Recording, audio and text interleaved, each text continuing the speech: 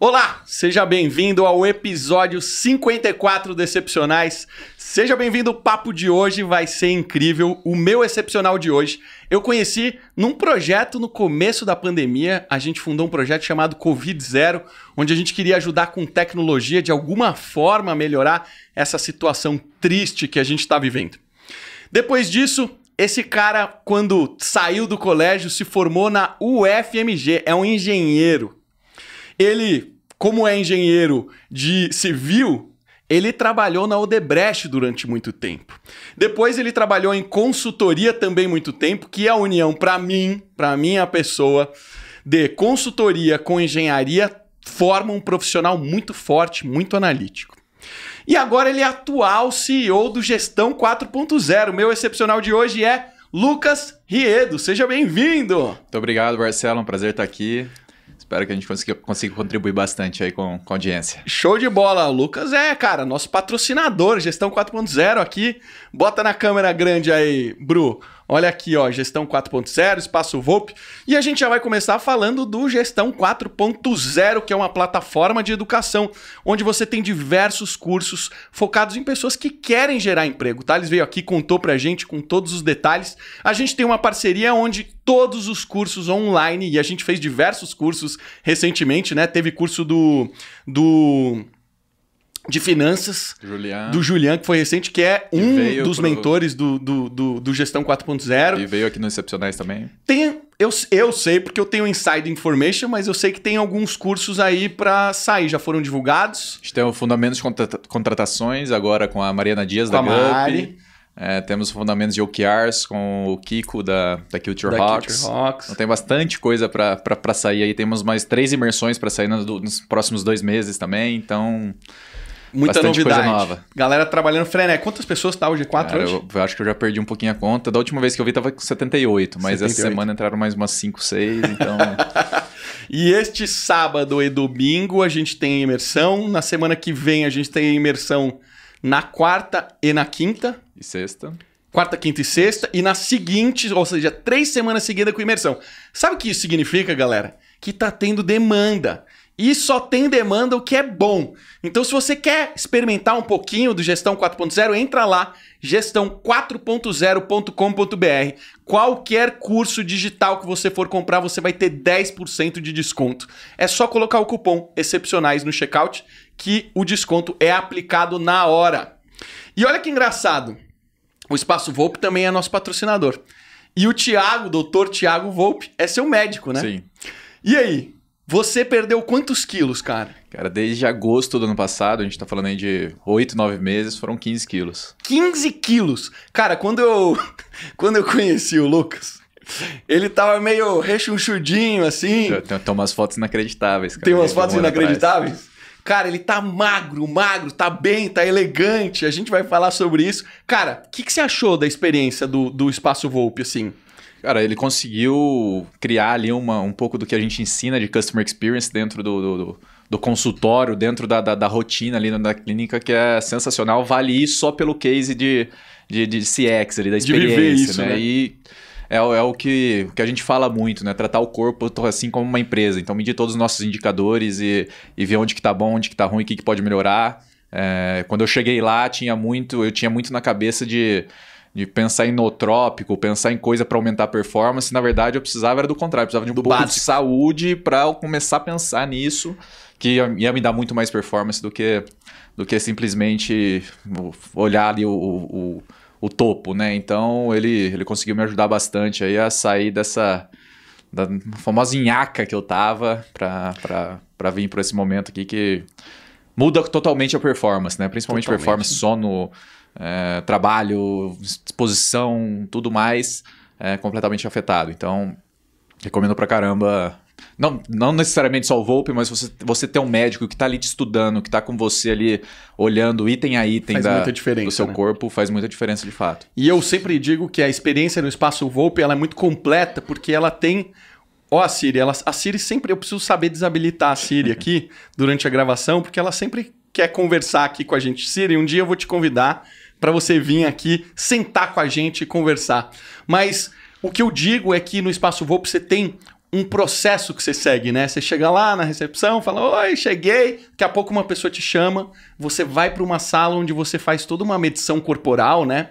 A, a enfermeira te faz uma série de perguntas para ver como é que você se sentiu e etc. E a partir dali você já tem um resultado de como é que você evoluiu desde a última vez que você veio, né? Exato. Então você entra numa, numa dessas balanças é, super modernas. Ele tem também um aparelho 3D que você entra no aparelho, você gira 3D, você vê exatamente sua composição corporal. Depois você segue para um nutricionista, né?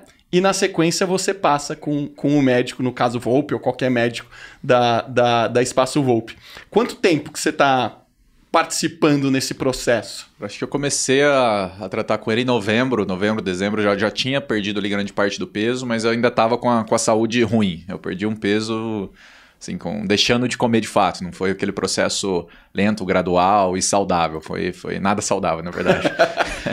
então, é assim, ele, cara, ele ajudou assim. depois a, beleza, agora, agora já não tenho toda aquela toda aquela inflamação no corpo, toda aquela coisa ruim mas eu também não tava, tava longe de estar tá bom. Então, desde novembro aí, novembro, acho que dezembro foi a primeira consulta. Show. Esse é o Espaço Volpe. Então, se você tem interesse em saber um pouquinho mais, quer participar nesse processo, quer melhorar sua saúde, quer aumentar sua performance física ou cognitiva, o Dr. Tiago Volpe é feraça. A gente tem uma super condição especial para todos os ouvintes aqui do Excepcionais. Basta entrar lá no site, manda um WhatsApp para eles ou liga, fala que você é ouvinte do Excepcionais que você vai ter acesso a essa condição super especial. Lucão, você é mineiro. Sou paulista. Você é paulista? BH. Quantos anos? 10 anos. 10 anos? Até os 12 eu morei em Rio Preto, dos 12 aos 23 em BH, depois fui para Cuiabá, Rondonópolis, Pernambuco, norte de Minas, aí Caramba, aqui em São por que Paulo. que você viajou tanto? Eu trabalhava no Odebrecht. Eu fui estagiário lá no, no último um ano e meio de faculdade. E a gente, eu participava de estudos de obras, de licitação, e a gente ganhou uma obra no Mato Grosso, e a BR-163. Na época, assim que eu formei, no dia seguinte eu fui eu fui lá para ajudar a tocar a obra, fui o segundo, o terceiro que chegou lá na, na, no trecho, né, como a gente chamava. E depois fui para a Ferrovia Transnordestina também, lá no interiorzão do Pernambuco, Salgueiro, Parna, Parnamirim, Uricuri. Uh, e aí quando começou ali a, a, a estourar a Lava Jato em 2015, que, que prenderam o Marcelo Debrecht e tal, eu falei, ah, não...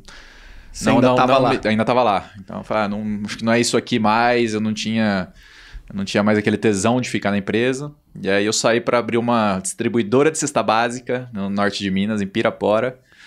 E acabei ficando lá seis meses e vim para São Paulo trabalhar em consultoria. Eu lembro que você comentou isso recentemente no, no, no grupo lá, no nosso grupo de poker, que você vivia na pele vender para um público que tinha praticamente passava fome, né? Era, era o cara. Na verdade, a gente vendia cesta básica, mas na verdade era um, era um crédito, né? Então a pessoa que não tinha dinheiro, a gente vendia fiado ali na confiança, e porque meu sócio era o delegado da cidade, então a inadimplência não, não era tão, tão, tão grande, mas o cara, quando precisava de comida, ele, ele acabava nos chamando. Então era um, era um banco ali, basicamente travestido de, de cesta básica. Isso acabou não, não, não, fazendo muito bem ali. Eu fiquei ali, puta, tava fazendo muito dinheiro, tava realmente dando certo ali no, nos primeiros meses. A gente já tirou o investimento em dois, três meses, já tinha feito, feito payback.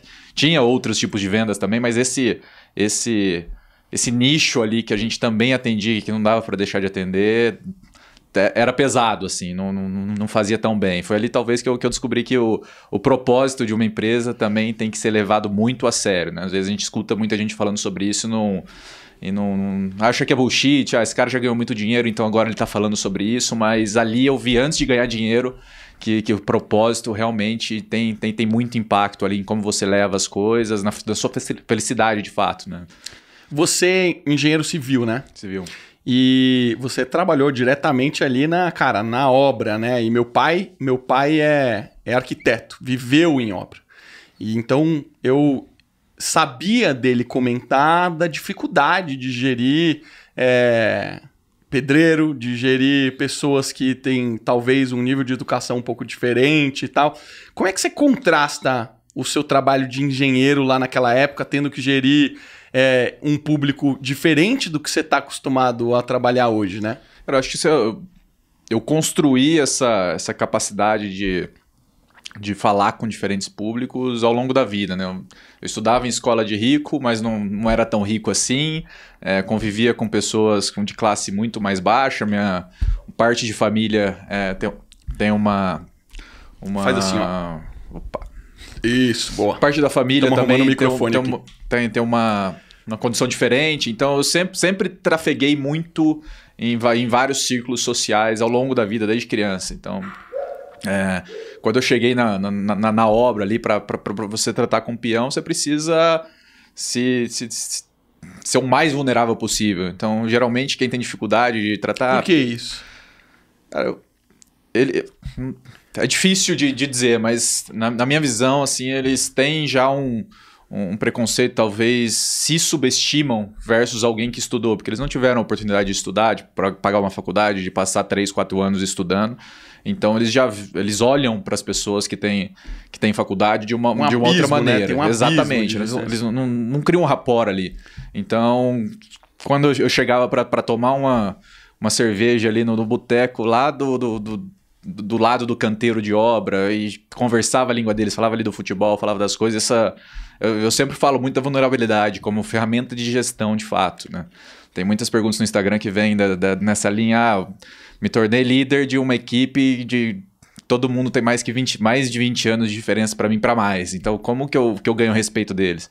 E acho que o primeiro ponto é a vulnerabilidade. Sem- Sempre se colocar ali, se não pior, pelo menos no- sempre no mesmo nível, sem, sem nenhum tipo de arrogância, sem, sem achar de fato que sabe mais do que elas, porque provavelmente não sabe. Eu tenho certeza que eu, com dois, três anos de obra, sabia muito menos que qualquer um daqueles caras que estavam lá. Entendeu? Eu, eu realmente tinha essa certeza É, um- um e transparecia obra isso. Tem, obra tem um conhecimento infinito, Muito né? melhor que qualquer engenheiro de qualquer faculdade. Exatamente. É, isso é um ponto importante. Cara, que legal. Então você, de fato, cara, sentava pra tomar cerveja com todos os pedreiros, todo mundo que trabalhava na obra, de igual para igual, e você sentia que isso te dava é, essa abertura, essa confiança por parte deles pra você desenvolver o trabalho. O- Da melhor maneira o que Eu possível, ouvia, né? mu- O que eu ouvia muito ali na época era. Putz, tem, tem nego que chega aqui e nunca pisou. Como é que eles falavam? É, nunca sujou a bota de barro e quer vir da ordem, falar como que a gente tem que É fazer as coisas. E, a- e às vezes você não precisa su- sujar a bota de barro para saber como as coisas têm que ser feitas, mas a maneira como você faz isso importa muito, né? Então. É, se você chegar ali, putz, eu sei tudo e essa pessoa não sabe, você não, você não vai conseguir ganhar ali a confiança dela, ela vai fazer porque você é o líder, né? A gente tá falando numa live há, há pouco tempo que a gente fez junto com, com a Mari, e tem uns cinco níveis de liderança e o primeiro delas, é, o primeiro dele é, é a posição, né? Então você já exerce um tipo de liderança pela posição só por você ser, ser aquilo, mas ele não é suficiente para a maioria, maior parte das pessoas. Então você precisa galgar níveis aí na, na, na escala de liderança. E, cara, mudando o assunto completamente, né? Você foi criado então em São Paulo. São José do Rio Preto. São José do Rio Preto. Caramba, sério mesmo, meu Aos melhor 12 anos. amigo é de São José do Rio Preto. Tiago Baweb, grande amigo. E fui pra lá algumas vezes. Agora é longe, né? É o quê? Umas seis horas de, de carro Quatro daqui pra meia. lá, né? Quatro e Ou meia? quatro, dependendo. Quatro e meia. E, cara, como é que era a sua relação com seu pai, com, com, com a sua mãe? Você tem irmãos? Cara, eu tenho, tenho uma irmã de 14 anos do segundo casamento do meu pai. Eu tive uma infância com, um evento chocante. Minha mãe morreu quando eu tinha 7 anos, num acidente de Caramba, moto. Putz. Mas assim, tirando isso, eu posso dizer que minha infância foi, foi bastante tranquila. Vendo uma família é, estruturada, eu estudava em escola pública até esse momento da morte da minha mãe. Quando ela morreu, eu comecei a ganhar pensão do INSS, então meu, meu pai conseguiu me colocar numa numa escola Você tinha particular. quantos anos? Tinha sete. E sua irmã? Minha irmã nem, nem nascida era, né? Minha irmã nasceu em 2003. É por, por- com outra. Isso, é com a, com a- Com a segunda esposa esposa, dele. Então, eu nunca me faltou nada, nunca, nunca tive me preocupar, não teve nenhum dia na minha vida que eu tive que me me preocupar com se eu ia ter comida na mesa, tá? Então, já, já me, isso me coloca talvez no top 5% de, de, de, de, de classe social do Brasil, né? Então, a infância foi, foi bem tranquila, apesar disso, né? Depois eu comecei a mudar com meu pai, com 11 anos, eu mudei para Cuiabá com ele, que ele foi transferido na época, depois fui para Belo Horizonte, e ali, de fato, que eu cheguei lá na oitava série, então fiquei, fiquei da oitava série até depois da faculdade em BH. Seu pai influenciou você de alguma maneira a se tornar engenheiro? Cara, teve um. um- Na, escolha, sim, mas teve um momento chave no, no meio pro fim da faculdade, que eu jogava poker na época. Já jogava poker, né? Jogava, então eu ganhava ali, na, na época o dólar tava 1,90, um 2,10, e eu ganhava ali consistentemente uns 3, 5 mil reais por mês. Jogando? É, 3 a 5 mil dólares por mês. Jogando? Jogando poker, online. Pô, praticamente um profissional. E, é, então, e aí eu tomei a decisão de sair da faculdade para me dedicar 100% ao poker. Tinha alguns amigos que tinham feito esse, esse, esse caminho na época. E ali eu falei com meu pai, eu falei, ó, tô pensando em dar uma trancada na faculdade pra, pra jogar poker. E aí meu pai fez todo Ficou um trabalho... super feliz. Nossa, imagina. Ho- hoje, hoje a gente sabe, todo mundo sabe que dá pra ganhar dinheiro na internet, né? Na época, É. não, cara, 2000 e... tô Falando aí 2010, 2009, 2010. Então, era, um, era uma coisa de, de rolo, era cassino, é... Não, nenhum pai ficaria feliz. Exatamente. Hoje, hoje se, se, se um filho falasse, ta- ta- talvez a gente acreditasse. Mas na época ele tinha toda a razão. E aí ele fez um combinado comigo, falou, ó... Acaba a faculdade, depois você você pode jogar, só queria que ter, ter um filho engenheiro de fato. Eu falei, ah, meu pai merece essa, esse voto de confiança. E dali eu perdi o tesão completamente no poker, parei de jogar, comecei a estagiar e aí foi seguindo a, a carreira. E, cara, era... meu irmão foi jogador profissional de pôquer durante um tempo, participou de time, tinha investidor que colocava dinheiro, etc. É, qual que era o desafio para você sair desses 2, 3 mil dólares que você tava e ir para mais do que isso? É factível? Você, de fato, quando você muda de uma mesa onde você tá jogando é, centavos ou dólares e começa a ir para mil dólares, 5 mil dólares, realmente o nível muda? A complexidade do jogo muda? Muda demais, assim, é- é- na época ainda era fácil você chegar nesse patamar ali que a gente chamava de NL, NL 100, né? Que era você entrar com 100 dólares na mesa, um jogo de cash. Você jogava cash game. Cash game, Cash game, pra torneio. quem não sabe, não é torneio, né? Você entra com um determinado número de fichas e você vai jogando e sai a hora que você quiser. Você entra e sai a hora que você quiser. Exato. A diferença é que toda vez que você entra, você tem que pagar o blind, né? Exato. É, e aí você tem a. a- você, ti- você tinha ali 2, 3%. É, é muito previsível no longo prazo o poker. Então, às vezes, na, na NL 100, por exemplo, que era onde eu jogava, eu tinha 2, 3%. Que é no limit. Isso, no limit. 100. De 100, porque é 100 dólares que você entra, que o blind é um real. Um dólar, na verdade. Então... Poker Stars. Poker era o que você Stars jogava. e... Na época era o Party Poker. Tinha Poker Stars, Full Tilt, Party Poker. Acho que nem deve existir mais. é, Poker Stars ainda tem. Então, você tinha ali o ROI, basicamente, quantas mãos você jogava, quantos blinds você ganhava. Que no meu caso era 2, 3. Mas se eu subisse pro, pro, pro seguinte, isso caía para meio. Então, isso significa uma variância muito grande, né? Então, qu- quanto menos vencedor você é, mais você vai estar sujeito às variações ali de, de sorte, porque no curto prazo tem, tem, tem sorte, mas no longo não. É muito, muito matemático ali o, o poker nesse sentido. Então, eu precisava de mais tempo para me dedicar, porque minha conta era a seguinte, se eu jogo 3, 4 horas por dia e tenho que ir para a faculdade 6, 7, se eu fizesse uma conta de 3 aí já já o valor seria diferente. É, e eu os meus amigos estagiando ali por 600 reais, 800 reais. Eu falava, cara, isso é... Já ganho muito mais Eu jogo isso. 6, 8 mesas com 100 dólares em cada uma, podendo perder todas ao mesmo tempo. Então não fazia sentido pra mim ali financeiramente. Então a minha conta foi essa, entendeu? Ah, então quanto eu, eu vou ter que ganhar 600, 800 para depois passar pro trainee e ganhar 4 mil... Quanto que eu não vou estar ganhando se eu já aumentar aqui minha exposição ao poker daqui até, sei lá, eu acho que faltava um ano e meio para eu me formar. Seus amigos que jogavam poker profissionalmente continuam nessa vida? Cara, muitos continuaram, é, alguns piraram. Tem, o- tem o caso até É? do, do Gabriel Goff, que Ah, você, você era é amigo da, do mesma, Gabriel. da mesma época, ali a gente frequentava o mesmo fórum. Tem o, tem o Diógenes, que, que entrou agora no G4 Club também, que, que era lá daquela época. Ele, ele me viu como CEO do gestão, veio falar comigo, a gente perdeu contato por muito tempo. É, mas alguns continuaram, sim, mas hoje é um jogo muito mais difícil de você ser vencedor. Não tem mais aquele tanto de gente ganhando 2, 3% ali. Tem alguns ganhando muito e na maioria das vezes é, a maioria no break-even ali, vivendo de cashback, do- do- dos bônus que as plataformas dão, do que... Esse é o que eu escuto, tá? Eu perdi bastante contato com, com o pessoal, mas tem, tem bastante gente jogando ainda. Eu tenho um. Cara, eu morei em Salvador sete anos. E eu tinha um. Tenho um amigo chamado. Faz tempo que a gente não, não, não conversa. É, coincidentemente, encontrei ele quando eu fui para uma viagem no Uruguai Fui num cassino, ele tava. Eu falei, Gabriel, é, Ariel, que, que porra você tá fazendo aqui no cassino, cara? Ele já era jogador profissional. O Ariel Bahia ficou super conhecido, um cara que ganhou muito dinheiro. É, ele, se eu não me engano, estava é, concluindo a faculdade de Direito, ia ser advogado. O pai dele, um jornalista super conhecido lá em Salvador, ele abandonou tudo, só que ele ganhou muito dinheiro. Ele ficou rico muito rápido. Então ficou fácil de explicar. Falei, cara, pai, olha aqui, ó. Acumulei mais dinheiro do que você fez a vida inteira.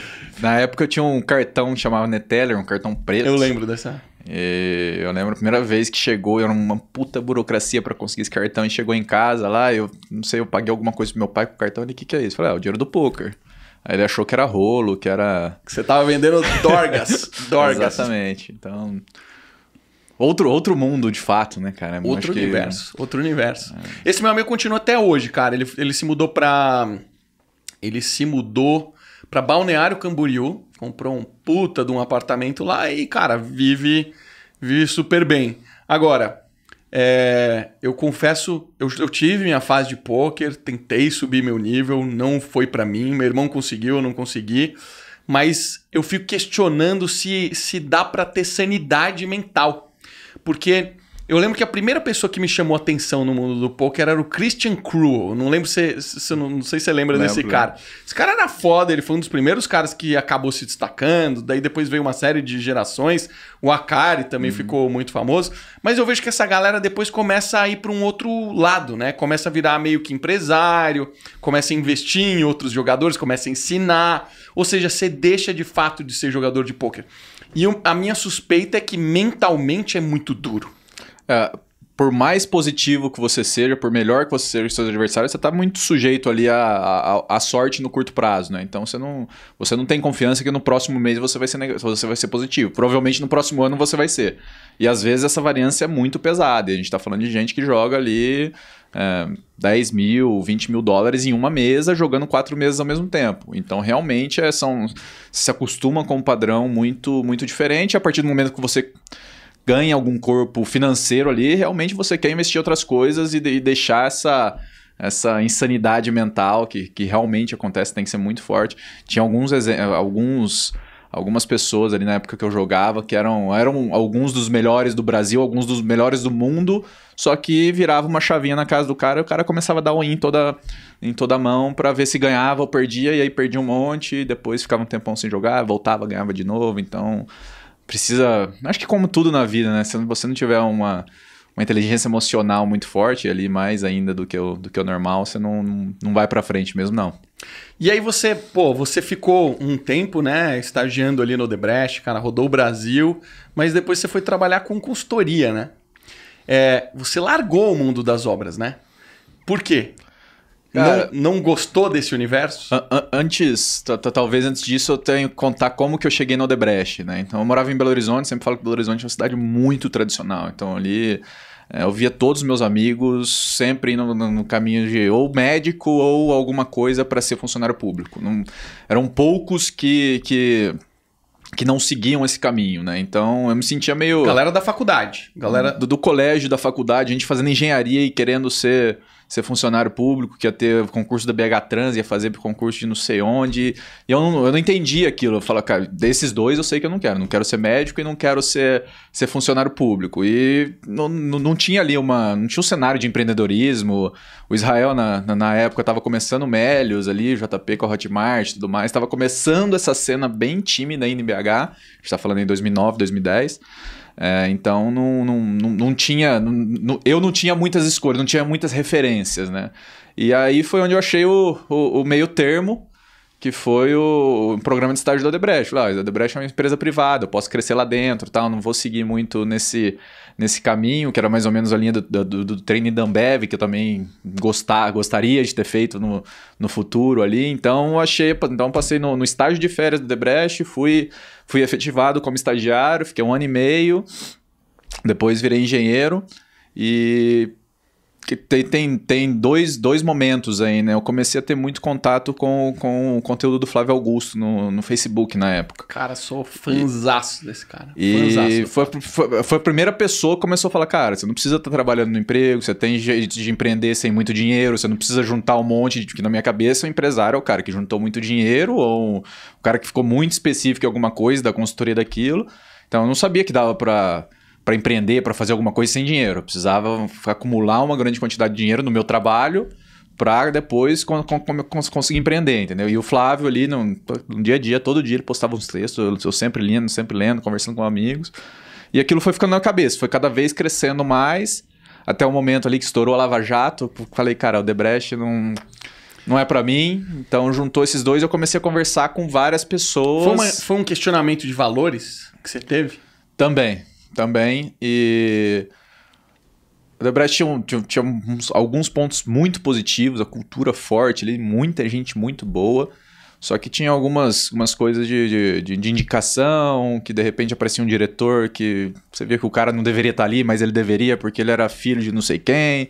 Então tinha, tinha, tinha esses pontos muito ruins que eu falei, cara, não, não, não, não é isso. É, não foi para isso que eu estudei, não foi para isso que meus pais me criaram. Acho que preciso procurar outra coisa. E comecei a conversar com todos os meus amigos, basicamente, falou, quero fazer alguma coisa, quero fazer alguma coisa, quero... Aí um me chamou para ir lá para Las Vegas para alugar Airbnb, alugar e realugar, é, me chamou para fazer a mesma coisa no Rio, enfim, tinha várias coisas na mesa e esse amigo é, que, que era delegado lá, meu melhor amigo, Fernando, ele falou, ó, oh, cara, aqui é, essa região é assim, todos os empresários aqui me conhecem, a gente tem esse amigo que faz isso lá em Rio Preto e ganha bastante dinheiro, acho que é um negócio bom, vamos para vamos fazer isso. Aí tá você deu a alô e falou, vamos nessa. Dia 19 de 19 de setembro de 2015. Aí fiquei um mêsinho, mês não, uns 15 dias uh, viajando ali, depois a gente foi, fui para lá. Só que nesse meio tempo eu comecei a fazer os processos de consultoria de novo, McKinsey, BCG e bem. E ali eu conheci muita gente, desde, desde os entrevistadores até as pessoas que me ajudaram ali na, nas entrevistas, que são bem difíceis, né? E eu fui para a última fase de todos, mas não passei nenhum. Então, as pessoas me notaram ali. Putz, o cara chegou em três fases finais e não, não passou. Da... Talvez não seja o nível que uma 15 BCG bem quer, mas é, deve ter um bom nível. E aí, a partir do, do, do momento que eu comecei a trabalhar com, com as cestas lá, alguns deles vieram me chamar para fazer coisa aqui em São Paulo. E aí veio um convite do, do que eu mais tinha gostado. Às 11 horas da manhã de um, um dia de dezembro de, de 2015, às 9 horas da manhã eu tinha contratado meu primeiro funcionário lá. Então a gente estava começando a empresa tal, e esse cara, eu, eu fiz esse cara negar uma empresa num, num CLT lá sub, num supermercado, que era o melhor emprego que tinha na cidade, o segurança do supermercado, uma cidade super pobre. E eu falei, cara, não. Jonas, falei, Jonas, não dá pra ir, cara. Hoje não dá. Se você tivesse ligado ontem, eu iria amanhã. E aí o tempo foi passando, foi passando. Eu vim para São Paulo aqui em fevereiro. E. E aí ele. Falei com ele, pô, Jonas, tô em São Paulo, tá ali, ah, vem aqui no escritório. E aí foi lá no escritório da consultoria da Cântica e tava todos os sócios lá, bateu um papo. Mas voltando para casa, ele me ligou e falou: Ó, tô mandando uma proposta no seu e-mail. E era para vir, vir por 30 dias para fazer um projeto só, que tava começando, tipo, na, na, isso foi numa quarta-feira. Aí eu voltei na quinta lá para para Pirapora. No sábado, coloquei minhas coisas no carro, fui para Belo Horizonte, dormi em Belo Horizonte. Domingo, vim para São Paulo. Na segunda, eu comecei. Então foi na. na emoção. Na, na loucura. E, cara, consultoria, eu gosto muito do, do âmbito de consultoria porque aprofunda-se muito em muitos casos, você começa a ter muita referência de modelos de negócio diferentes. Você tem que estar tá sempre muito bem embasado com dados de mercado, com você precisa ser um cara muito analítico para você juntar essas informações. Aliás, juntar esses dados e transformar em informações. É, como é que foi sua experiência trabalhando em consultoria? Cara, consultoria é um, é um modelo que é Muitas pessoas não gostam quando chega uma, uma consultoria dentro, mas talvez seja a maior alavanca que alguém dentro de uma empresa pode ter. É colar numa consultoria e fazer tudo o que ela quer. É, por quê? Porque consultores geralmente são pessoas que têm boa formação, que são inteligentes, que podem não entender do seu negócio, podem nunca ter atuado em nada parecido, só que eles são inteligentes e sabem de negócio, sabem de business. E eles não estão preocupados com o dia a dia. Eles não querem saber se você está vendendo 200 reais a mais, se seu cliente está reclamando que não recebeu o produto, se você está com 55 caminhões na portaria. Então eles estão ali exclusivamente pensando em, em problemas para solucionar, para melhorar o, o, o mercado, no, no, no, a sua empresa no médio e longo prazo. Né? Então eu vejo muito valor em consultoria. E até uma dica que eu, que eu dou para todo mundo que eu converso, cara, chegou consultoria, cola não, não tenta ser. Para aprender. Para aprender e para fazer junto, porque não, se você for. Geralmente o consultor ele é, ele é contratado pelo diretor, pelo presidente, trabalha com o gerente ali, com o coordenador. Se você for resistência, eles vão falar: o projeto não está saindo por causa dele. Então é a coisa mais burra que existe no, é. no mercado corporativo é você ser a resistência contra uma consultoria. Total. Então aproveita, porque é, mexe um pouco com o ego também, né? Às vezes as pessoas veem, ah, estão achando que eu não consigo resolver o problema sozinho, então trazendo esses caras aqui que não entendem nada do é negócio. Então é um, é, um, é um business muito legal de se trabalhar.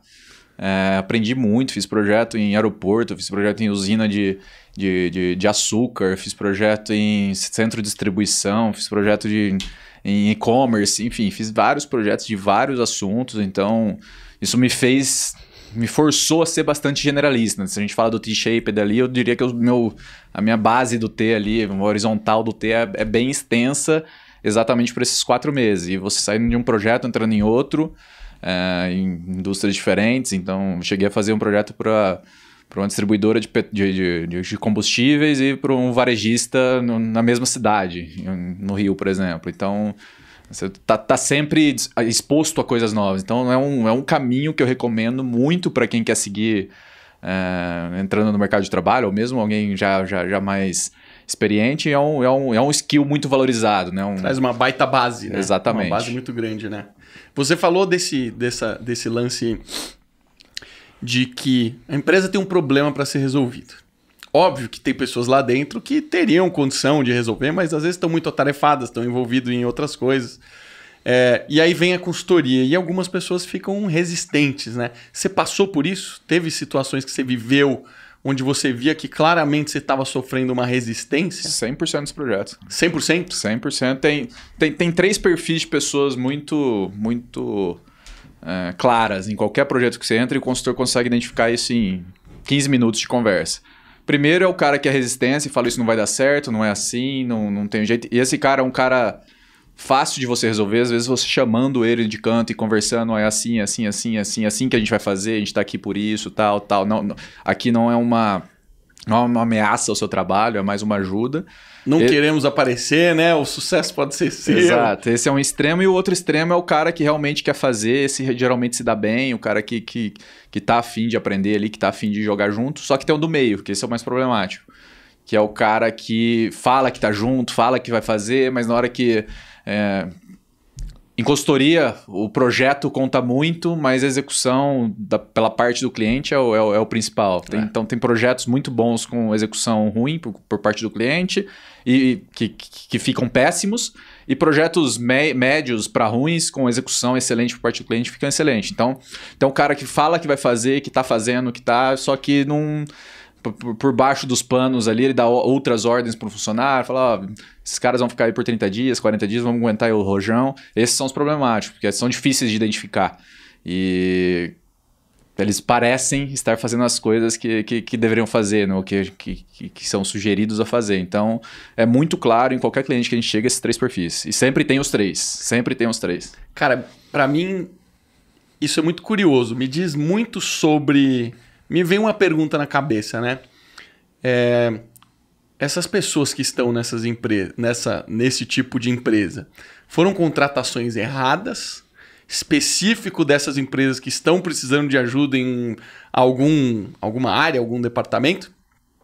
Ou isso é um reflexo do nosso tipo de profissional no mercado brasileiro? Porque eu acho que não tem uma pessoa que eu não conversei na vida que não fale deste tipo de pessoa. De pessoas que jogam contra, de pessoas que não querem é, olhar para frente, né? Toda a gente, pô, a gente no Gestão 4.0 a gente ensina pessoas a olhar para um novo mundo, um mundo que a gente vive e respira há muitos anos, que é o mundo digital, que é o mundo mais moderno, que são as metodologias das startups. E eu, minha carreira inteira foi isso. Minha carreira inteira foi pegar empresas e transformar em empresas digitais, empresas modernas, com sistema, com tecnologia. Também sofria muita resistência, né? Então, me questiona um pouco por que as pessoas são assim. Por que, que as pessoas não compram as ideias, né? É um pouco do, do, ser humano, né? A gente, a gente quer ficar na, na, na, zona de conforto. A gente é programado, nosso software é, é codificado para ficar na zona de conforto, né? E com certeza, chegando numa consultoria, ou chegando numa transformação digital, ou chegando num novo projeto que, que tá fora da sua zona de conforto, vai, vai, vai ter resistência, entendeu? Então, é um pouco, inclusive, que eu acho que o esporte ajuda muito, né? De você estar tá o tempo inteiro ali tomando porrada, machucado, com dor. É, você está se, se, forçando a sair da zona de, de, de, conforto o tempo todo é, é uma coisa que você leva para os negócios também. Então, acho que é um pouco do, do, da natureza humana. Não sei se é, se é brasileiro, não sei se é, se é contratação errada. Acho que a gente tem que ser bom identificar isso e corrigir. Na maioria das vezes você vai co conseguir corrigir ali com, com, com feedback, com, com algum tipo de, de mentoring. E outras, a pessoa simplesmente não, não serve para a empresa naquele momento. Né? Pode ter servido muito bem para fazer ali o, o ongoing, para bater o boom, para fazer as coisas no, de rotina, que estão na zona de conforto dela, mas na hora que sai da zona de conforto ela não está acostumada com isso, então acaba sendo resistente. Né? Faz muito sentido, cara. Com, concordo muito com o que você está falando. E daí, cara, você sai da consultoria e vai para um desafio enorme, que, que foi o Gestão 4.0. Você já está lá há quanto tempo? Um ano e quatro dias. Um ano e, e quatro dias. Um ano e cinco dias. E você hoje, cara, é CEO da empresa, né? É uma baita responsabilidade. Thales veio aqui, disse que vão fazer IPO em 2024. 2024. Ele quer que seja antes, mas ele falou: não vou apertar tanto assim. Cara, como é que tá? É a sua primeira vez como CEO, tirando quando você é, empreendeu, né? A, a, história de como eu entrei no gestão é bem interessante, cara. O, eu tava acumulando férias na consultoria, nunca tinha tirado férias, tava com 90 dias acumulados. Caramba! E eu ia... Essa não é uma parte boa da consultoria, trabalha-se muito, né? Não, mas é, é, aí foi mais opção me mesmo. Eu só tirava as férias ali, carnaval e Réveillon. Então tirava Entendi. essas férias, carnaval e Réveillon, então em quatro anos eu acumulei 90 dias. É, e eu, tava, eu ia pro Vale do Silício em abril, fazer um curso lá de programação, na, naquela escola 21. É, e aí, quando eu come... voltei do carnaval ali em fevereiro tal, tinha até passado o carnaval com, com, com o Thales, e daí que veio a, a ideia de vir para gestão. Então, os projetos começaram a parar. Então, ah, o projeto que ia começar aqui parou, parou, parou, o outro diminuiu. E aí me chamaram e falaram, Lucas, ó, você tá com 90 dias de férias e o segundo tem 23. Então, você vai então, precisar tirar férias. Eu sei que o momento é ruim para tirar férias, tá? não estava fechado ainda.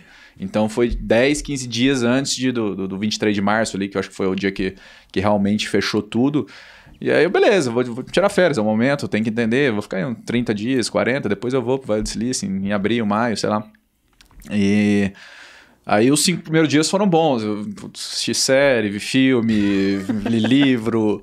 É, e aí comecei, cara, a partir do quinto, sexto, eu comecei a ficar em, em, choque ali, só ficava comendo igual louco, foi a época que eu, inclusive, que a gente se conheceu. é, e comecei a meio que pirar, falei, eu preciso fazer alguma coisa. E eu tava de férias, eles não me deixavam, tinha alguns projetos rolando à distância, eles não me deixavam de fato trabalhar. Eu falei, eu preciso trabalhar, preciso trabalhar. Foi quando vocês criaram o Covid Zero. E aí, na hora que criou, primeiro eu mandei mensagem para ela. Falei, cara, me coloca nisso aí que eu preciso trabalhar, preciso fazer alguma coisa, não tô aguentando mais ficar em casa. E eu já conheci o Thales há, há, alguns anos antes, né? E a gente, sempre, trabalhou, hein? Meu Deus. A gente sempre tava junto e ali a gente se aproximou profissionalmente, né? Ele tava precisando de uma ajuda lá no, no financeiro do gestão, passou ali. Quando deu aquela briga do Dória com o Bolsonaro, que a gente meio que viu, putz, não, não vai adiantar muito isso aqui que a gente tá fazendo. Uh, do Covid zero, né? Ele me chamou para entrar como, como CFO do gestão. E entrei, a gente foi criando várias coisas ali ao longo do, do, do ano, né? A gente, eu entrei ali para acelerar de fato, para ajudar na, na, estruturação do time, para a gente crescer. Na época a gente tinha 23 funcionários, 22. E a gente criou o G4 Club. O G4 Club é um, um seria o nosso mastermind, né? não pode usar muito essa palavra, mas... Que tem marca, né? É. marca, né? então é o nosso, nosso clube de negócios. E ele acabou ficando maior do que a gente imaginava, demandando muito mais tempo, e não tinha ninguém melhor que o Tony, que é o fundador e, e, então o CEO, para tocar ele. Né? Então a gente decidiu separar ele em duas empresas, e eu assumi. É, na primeira, primeira, primeira é, posição de fato de, de liderança, de liderar uma equipe tão grande. é um, é um, é um desafio e um, uma oportunidade muito grande, né? Eu, tenho, eu digo que eu tenho a, a felicidade de ser um CEO júnior, então eu posso falar que eu não sei, eu posso falar que eu preciso de ajuda mais do que se chegasse alguém de mercado lá que precisasse resolver. Então, é, isso, isso ajuda bastante e me ajuda muito a colocar na, na, posição de vulnerabilidade que a gente falou mais cedo, né? Então, eu uso e abuso dessa, dessa fortaleza aí, desse, desse, desse livre conduto. Animal. Cara, eu vi que você tá meio incomodado comigo, você botou do lado contrário. Faz assim, ó. Ah, rapaz. Por isso que tá enforcando ele aqui. Boa. Melhorou? Boa, melhor. Show. E, cara, é, você hoje está como CEO, né? De uma empresa, cara, que tem um desafio enorme pela frente, né? É, óbvio que você pegou já... Já tinha um ano e meio, vai, do, do, desde a fundação com o Tony, mais ou menos isso? É, menos? Fevereiro de 19, é, um ano e mais de meio. Um ano, é. 1.8. E aí, cara, o que, que você tá vendo de desafio pela frente? Quais estão sendo os seus desafios como CEO de uma empresa já desse porte, que pô, tem um faturamento super relevante, né? Cara, é, o, é a resposta padrão que todo CEO vai dar e a gente acho que assim como o propósito, a gente só, só, só sabe que é verdade mesmo na hora que a gente, a gente tá na cadeira, né? Que é contratação e cultura, cara.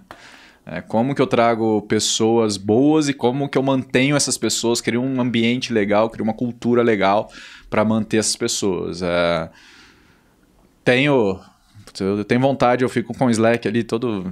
Eu digo que eu trabalho exclusivamente por gestão 12, 13 horas por dia, mas eu trabalho no gestão umas 18, 19, que é o tempo inteiro que eu tô. Se eu não tô dormindo ou treinando, eu tô olhando o Slack, Pensando, tô olhando, conversando exato. com as pessoas, né? Então, assim, tem, tem horas que no sábado à noite eu pego ali, putz, eu preciso fazer isso aqui, dá vontade de fazer, mas não, não é meu papel fazer isso, não é meu papel executar ali a a atividade é treinar pessoas e, e dar condições para que elas façam. Né? Então, é, contratar as melhores pessoas e, e mantê-las é, sem, sem dúvida nenhuma, o maior desafio. É até um pouco clichê falar isso, mas é, é realmente a verdade. Não, não, tem, não tem uma como fugir, né? E a gente tem uma, uma dinâmica muito forte de... Pô, a gente tem quatro sócios gênios, né? Então, são ideias novas, são oportunidades, são a gente querendo fazer coisas juntas com a gente o tempo todo. Então... Como é que você então gerencia essa, essa quantidade de loucura? Porque, cara, cada um tem um perfil diferente ali. Né? Nunca vi três pessoas tão diferentes. tem um perfil, o Nardon tem outro. Eu acho que eles se equilibram muito, acho que eles se equalizam muito, né? Acho que quando o Thales exagera, o Nardon ajuda. Quando o Alfredo exagera, alguém dá um equilíbrio ali. Agora eu fico imaginando você tentando gerenciar é, esses três malucos é, tendo esses sonhos super agressivos. Como é que tá sendo isso para você? Uma, uma coincidência aí que talvez esteja me ajudando muito é que na consultoria eram dois sócios que eram um casal. Então, ele extremamente, tipo um Nardon e ela um Alfredo. Saguei. Então eram muito diferentes. Então eu aprendi muito bem ali a putz, pegar essa ideia aqui, levar para cá para perguntar o que, que você acha, tal. Depois, enfim, essa parte política, eu acho que, que política é igual cultura, né, cara? Existe. Então, você se saber como você relacionar, sua relação com outras pessoas, ela existe, isso é política, assim como a maneira como as pessoas se comportam, existe a cultura. Cabe a você decidir se você vai deixar o relento, deixar acontecer, é. ou se você vai ter consciência sobre isso e agir. Então, é, muitas, muitas pessoas ignoram a política e falam, ah, isso eu não sou político, eu não, não vou me ligar. Então, eu aprendi bem cedo que, que eu preciso saber navegar ali, preciso saber filtrar.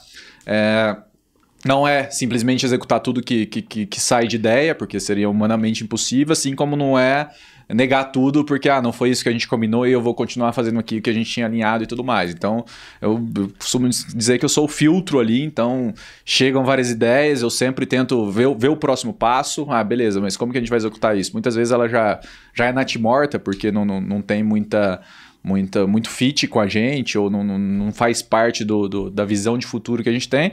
E essa visão de futuro que é o, que é o, que é o grande. O que passa pelo filtro ou não. Então, tem, tem algumas iniciativas que a gente negou que eram excelentes por curto prazo. Ia trazer um caixa enorme, ia trazer visibilidade, mas ia, ia nos desviar daquela visão que a gente tem no, no, no longo prazo. Né? Então, é ter, ter essa teu, teu, teu norte bem definido e dentro desse norte você é, poder variar um pouquinho para cá, vamos fazer isso, vamos deixar de fazer aquilo que a gente imaginou que faria, é, acaba ajudando muito. Então, é um pouco disso que eu, que eu tento fazer no dia a dia. Vocês adotaram uma estratégia de ser é, 100% orgânico, né? Vocês nunca pegaram um investimento externo. Então, vocês estão crescendo com o fluxo de caixa da empresa, que a gente sabe que gera um baita caixa, né? Uma empresa é, super positiva desde o primeiro dia de nascença. Mas você está próximo de pessoas que têm muita relação com o universo de investimento. Sim. O Alfredo na Vetex, cara, a Vetex já recebeu uma cacetada de investimentos, ele vendeu a empresa para a Vetex. É, o Thales, cara, já montou duas startups, já levantou muitos milhões de dólares de investimento. E o Nardon idem, e não só isso, né? Criou o, o fundo de investimento North Ventures. Por que, que vocês nunca decidiram pegar investimento? Isso, isso faz parte do plano de vocês? Não. É, talvez pegar algum investimento para nos ajudar no momento que for fazer um IPO ou algum outro passo, mas não como captar dinheiro para para execução. A gente tem, a gente é superavitário, bastante superavitário, então a gente meio que funciona como nosso próprio VC. Então a gente tem algumas iniciativas que a gente precisa investir ao longo do tempo, que a gente precisa ter time ali para tocar, que a gente que não dá lucro, que, que demora ali até, até ter o retorno financeiro, só que a gente tem ali o, o grosso nas imersões, nossos produtos online, que, que, que fornecem esse caixa. Então a gente é o nosso próprio VC, não, não faz sentido. Hoje, se você chegasse para mim, Lucas, quero colocar 50 milhões de reais no gestão, eu falei, cara, obrigado, mas é, a gente já, já, tem, já tem o financiamento para as nossas iniciativas aqui. Óbvio que a gente pode começar a pensar em várias outras coisas, crescer muito o time, mas pro, pro, pro caminho que a gente está seguindo, não, realmente não, não faz parte dos planos, pelo menos nos dos, dos próximos dois anos. Pode ser que aconteça alguma coisa daqui tá lá, mas é, não, é realmente uma parte da estratégia a gente manter aí o, a, a cap table com a gente. Tem que continuar gerando caixa, né? Exato. E tá funcionando super bem, vocês estão crescendo bem. Você acabou de falar um negócio super importante que é pô, alguns projetos que não dão resultado. Você só consegue afirmar isso porque vocês fazem essa gestão. Você de fato está olhando ali o resultado por produto, por unidade de negócio, por algum agrupamento que você faz. Você estava como CFO e agora você é CEO. Você ainda está com as duas posições? Você pretende colocar uma pessoa no seu lugar? Com, com certeza. Acho que não, não, não é saudável ser, ser, ser, as duas, né? Porque o lado CEO quer, quer sair executando tudo, quer, quer investir, quer, quer colocar dinheiro em todas as, as áreas, quer contratar gente mais cara do que, do que deveria. E o lado CFO tem, tem que segurar tudo isso, né? Então, ter, ter, ter essas duas, do, duas cabeças dentro da, da, da mesma pessoa é, é bem difícil. Mas hoje a nossa operação financeira é relativamente simples, ela não é tão, tão complexa. É, então, nos próximos meses, com certeza, isso, mas não é uma, uma prioridade e é uma cadeira que eu tô, tô, tô ocupando as duas agora. Cara, qual, qual que é o seu nível de profundidade que hoje você faz nessa gestão financeira, né? Porque é, obviamente que quando a gente começa a entrar nesse nível de detalhamento, onde você começa a entender os, os, os microinvestimentos que você faz, uma nova frente, entender como é que está a relação de custo-resultado e tal, essas coisas dão um certo trabalho, né? Quão fundo você gosta de ir nesse nível de gestão? Eu acho que a gente não, não, não vai tão fundo em todas as, as iniciativas, né? Então, Aquelas que, que já o ongoing ali, a gente já sabe mais ou menos como é que elas funcionam. Ah, gastou um pouquinho mais de marketing, um pouquinho, um pouquinho menos. Essa imersão foi mais cara porque a gente teve que levar para um hotel maior, porque, porque o Covid é, é relativamente fácil, já tem ali o, o, o, dia a dia. Né? O que dá mais trabalho, que aí realmente tem que entrar um pouco no detalhe e ver o quanto a gente está disposto a investir, são no, no, nos novos projetos. Né? Então, as novas imersões que a gente está fazendo, quanto que, que eu consigo investir, como que eu vou fazer a minha, minha estratégia de go-to-market, vou trazer aqui três vendedores para vender ela, vou trazer cinco, como que isso vai afetar no, no, no, no médio prazo aí a, os números da empresa, quantas imersões eu vou precisar fazer para pagar meu time de produtos que eu, que eu, que eu precisei investir para para produzir o conteúdo de fato, né? Então, eu não, não, não diria que, que, que vai muito fundo em tudo, não. É algumas coisas mais superficial, só para a gente ter certeza ali também que não, não, não, não tá com, com jorrando sangue, né? Mas os, as mais as mais complexas, com certeza a gente vai no, no detalhe da vírgula da vírgula. Uma Cara... coisa, por exemplo, que a gente não faz e, e por, uma decisão é a alocação de, de pessoas exatamente para o projeto. Óbvio que a gente tem um time de vendas, tem um time, é, alguns times que são dedicados, isso sim entra no, no resultado do produto, mas, é, por exemplo, o financeiro ele é totalmente separado. Eu poderia fazer um, um share ali e jogar para cada uma das unidades para para fazer essa conta, mas acho que não faz sentido. E é o que a gente faz na consultoria, né? Então, o consultor, você pega o salário dele, pega todo o back-office, divide ali entre quantos consultores você tem. Então, o cara que que, que, custa 10 mil reais ali, na hora que ele vai para o cliente, ele vai com 90 mil. Mas por quê? Porque ele tem toda a estrutura de, de back-end. A gente não. É uma, é uma das coisas que a gente não, não faz porque não, não. Não faz sentido mesmo. Pode ser que daqui a um tempo faça, mas agora não. Cara, com, quando a gente dá as mentorias lá na imersão, uma das coisas que é muito recorrente é as pessoas perguntarem qual que é o papel e qual que é a rotina do CEO. Queria que você contasse um pouco qual que é a sua rotina, como é que você está se organizando, como é que você faz suas one-on-ones? Você tem algumas reuniões fixas que você faz ao longo da semana? Como é que você organiza essas suas atividades? Tá, então todos os dias às 8h30 eu tenho a reunião ali de, de liderança, né? Meus, os, os heads comercial, os dois heads comerciais, é, marketing, produtos e, e financeiro. Então a gente é uma reunião desestruturada de propósito, então eu gosto ali meia hora a gente marca para falar, ó, ontem aconteceu isso aqui, eu tô vendo isso, tô precisando de ajuda aqui, então não, não tem muito uma pauta, ela acontece todo dia, às vezes demora uma hora, às vezes demora 15 minutos. Então eu, eu principalmente nesse momento que a gente não tá no escritório, não abro mão dela. É, aquele tempo seria o office hours ali, que você chega, conversa um pouquinho aqui e ali. É, e o grande ponto dela é alinhamento. Eu quero garantir alinhamento em todo mundo sabendo mais ou menos o que está acontecendo, onde precisa de ajuda e tudo mais. Além disso, a gente tem a nossa reunião de conselho também toda segunda-feira às 10h30, que aí é onde Thales Alfredo Nardão participam com a gente para ver ali como estão os números, dando as grandes diretrizes. É, e o Tony também, obviamente. E na terça-feira eu tenho a reunião de gestores, então a gente pega todos os gestores da empresa, todo mundo que tem uma equipe, uh, coordenadores, gerentes e tudo mais, e cada um vai apresentando ali os principais números da, da sua área. Então, é o no, no, no, no, modelo Toyota de produção a gente chamaria de obeia, né? Então, eu fazia muito obeia quando eu trabalhava em consultoria. Então, é a, a versão 4.0 do, do, do obeia. É, A gente fazia todo dia, né? Aqui a gente faz uma vez por semana. Tem os one-on-ones que eu sempre tento marcar na, na segunda, terceira. Eu tô, inclusive falando, você, você tocou no assunto rotina. Eu tô, tô tentando, é, dado esse cenário híbrido que a gente está vivendo, eu acho que a gente vai continuar sendo híbrido. Tô colocando todas as, as reuniões de, de, de one-on-ones ou todas as reuniões mais fixas e de calls na parte da manhã para conseguir almoçar em casa e depois ir para o escritório ficar mais livre ali para mais para conversar, para para ter reunião com cliente, para atender alunos e tudo mais. Então, estou tentando fazer toda essa, essa migração, mas voltando ali na, na, na, nas reuniões, a gente tem esse, os one-on-ones, que eu faço quinzenalmente com alguns e semanalmente com outros, aqueles que estão tão, tão, tão mais próximos eu deixo para para fazer mais com, com, menor frequência, né, com 15 dias, e os que estão um pouco mais longe eu faço toda, toda semana. Então, Acho que é isso de, de fixo. Tem, tem o All Hands também que a gente faz. Então todo, todo o time. Com se... qual frequência? Semanal. Semanal também? Exato. Então é, a gente mudou bastante o All Hands, a gente tinha um foco muito financeiro. Então ah, a gente vendeu tanto, era para ter vendido tanto, tal, parabéns. Blá, blá, blá. E ao longo do tempo a gente foi tirando um pouco essa, essa questão financeira que a gente já trata em outros fóruns, já trata em, na, nas nossas reuniões, porque ali às vezes ficava é, muito não que a gente não seja, mas ficou, ficava muito results oriented ali. Uhum. Então a gente foi, foi tirando um pouquinho essa parte financeira, mas também tem. E é o momento de todo mundo ficar sabendo do, do, das principais coisas que estão acontecendo na empresa, né? O que, que a gente vai lançar, o que está dando certo, o que, que não está, onde que a gente precisa de ajuda, as contratações novas são apresentadas ali.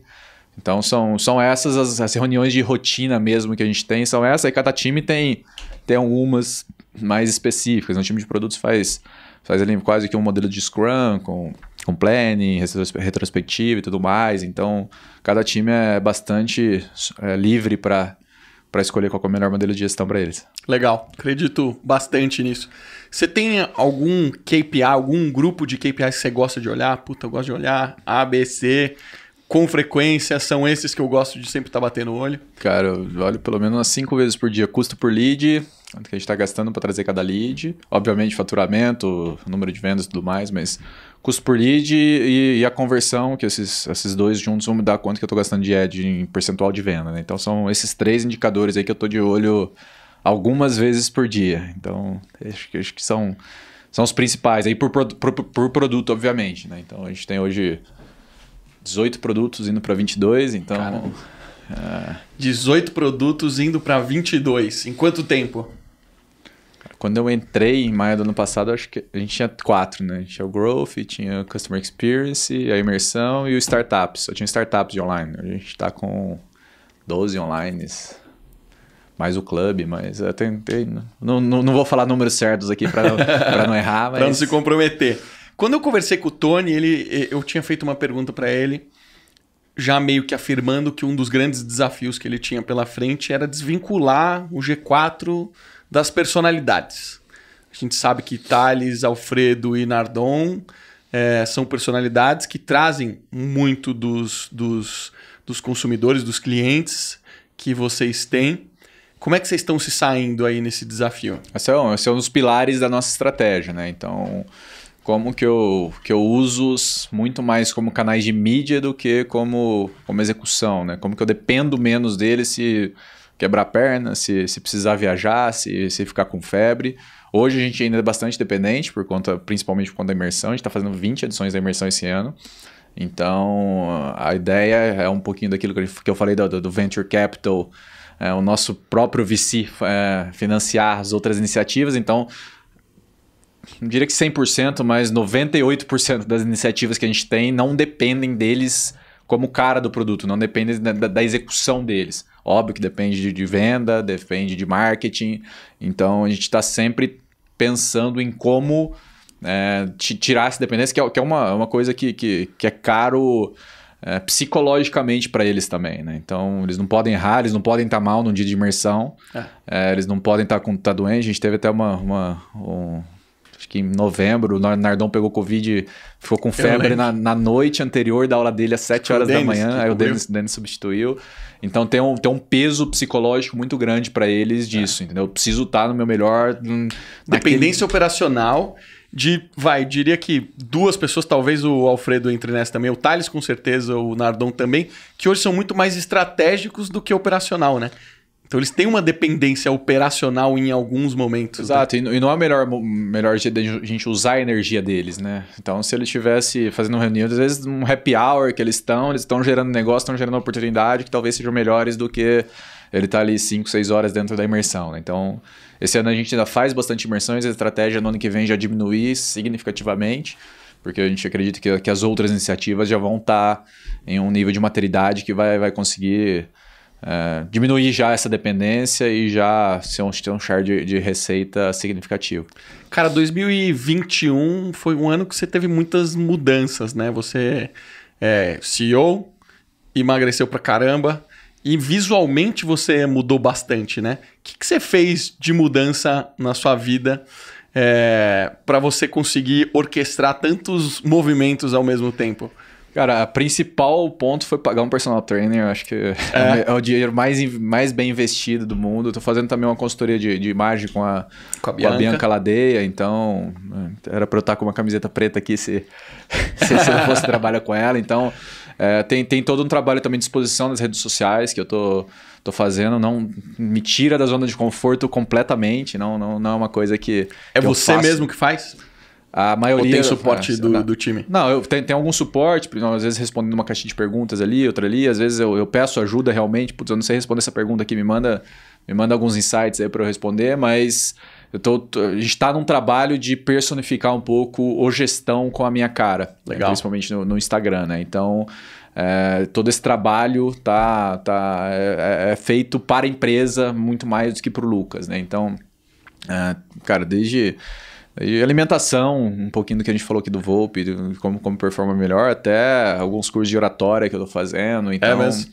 É, não, Calma não, lá, é vamos nada... por partes. O que, que você está fazendo de esporte? Seu personal trainer, quantas vezes você está treinando por semana e o que, que você tem feito? Com personal, treino três vezes por semana, 6 horas da manhã, segunda, quarta e sexta. E tento encaixar pelo menos mais dois treinos de força. Musculação? Musculação. Não, nessas, nesse personal trainer é musculação, Isso, musculação que você faz? só musculação. E aí tento encaixar mais um ou dois treinos de força sozinho ao longo da semana. Jogo tênis também, pelo menos duas vezes por semana, e tento encaixar mais uma ou duas corridas. O ideal era, era, era conseguir fazer um, um aeróbico todos os dias, né? Mas aí o joelho já, já dói um pouquinho mais. Né? É, mas para quem emagreceu já tá bem. Se tiver com a musculatura forte, vai. A Renata, a minha mulher, ela é fisiculturista, então ela, pô, tem uma densidade muscular muito grande. E quando você olha para ela, é natural uma pessoa leiga fala assim: Poxa, essa menina deve viver na esteira, né? uhum. né? E, e outro dia uma moça chegou para ela e falou assim: Nossa, você deve ficar muito na esteira, né? Ela odeia o aeróbico. Eu nunca faço. Ela nunca, nunca faz aeróbico. Eu não gosto também. Olha que maluquice, cara. Forçado. Uma das coisas que eu quero fazer agora no, nas próximas semanas é comprar uma bicicleta para deixar em casa para para ir fazendo um aeróbico ali num, num, momento que você tem 20 minutos, um spinning, às vezes lendo né? alguma coisa, respondendo caixinha no Instagram, é, vendo um vídeo no YouTube que às vezes está vendo deitado porque você tem que ver ali. Então você tem 20 minutos ali, eu acho que, que, que, que vai, vai, vai, vai dar bastante resultado aí. Vamos ver se vai ter disciplina suficiente para usar, porque não, não, não é gostoso também ficar, ficar pedalando no lugar. Né? E dieta, cara? O que, que você adotou de estratégia no começo, que você foi mais radical? E o que, que você está fazendo agora que você já perdeu bastante peso? Cara, tá em, deve estar tá em manutenção, né? No, no, no, começo eu fui no, no endócrino, né, prescreveu remédio para diminuir a, a velocidade de, de da, da, da, digestão, né? Não, não, acho que não precisa citar nomes aqui, mas. Melhor não. foi, foi aí que. Não foi, queremos problema foi, com o CRM.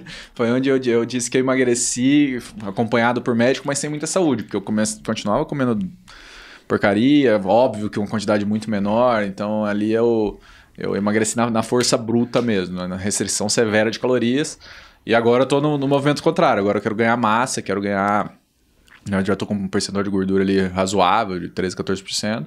Então eu estou no momento ali de comer mais, uns pratões grandes é. ali de, de, arroz, feijão e carne mesmo.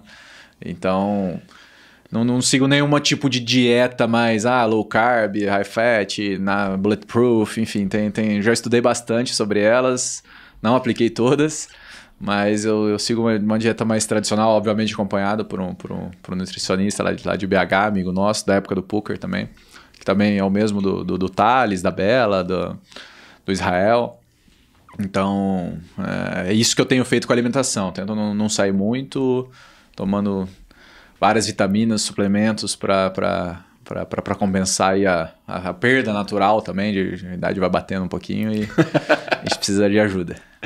E, e, da parte visual, você fez um trabalho com a, com a Bianca Ladeia, que é hoje uma das parceiras do G4, né? Ela foi aluna e depois acabou virando Todo, Todos os nossos parceiros foram alunos. Foram alunos? não tem nenhum parceiro que não... O Diego foi? Diego foi aluno Pô, da, da terceira ou quarta turma, Denner foi da segunda, Feiteiro foi da décima segunda. O Feiteiro eu lembro. É, então, to, todos os nossos parceiros vieram, gostaram, fizeram muito negócio, que é o que talvez seja o grande, o grande forte da, da, da, imersão, né? Sai muito negócio. Nessa última turma a gente tinha.